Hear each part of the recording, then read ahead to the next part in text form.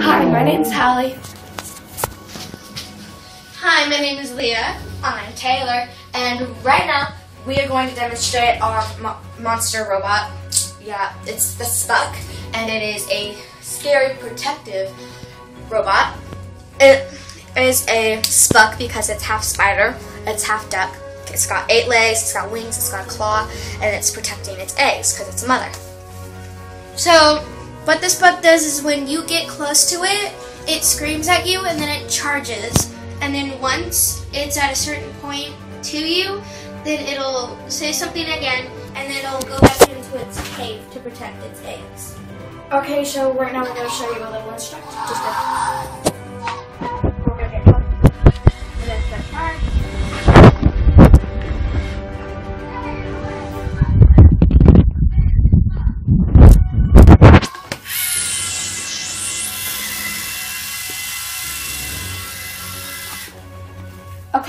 that is our robot. So as you can see, when we went up to it, as soon as we started the program, it could tell that something was certain feet away from it, which made it say roar and stuff.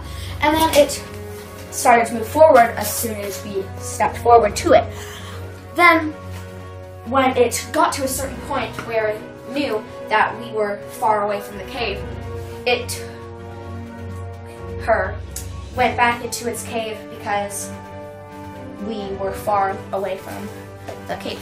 Okay, so this is the program that we use. So if it's less than two centimeters away, it'll charge and it'll make a sound. Then that makes the motor go backwards because the head is facing the opposite direction than what it's usually. So once it does that, then it stops and then it waits and it goes again, it plays a sound, then it goes again, then it stops. So we're going to show you another demonstration because now you know the program. Okay, now they're going to show a demonstration using kind of a movie scene. It's the Spuck. Get there, it's going! We don't know how dangerous it will be. Get the eggs.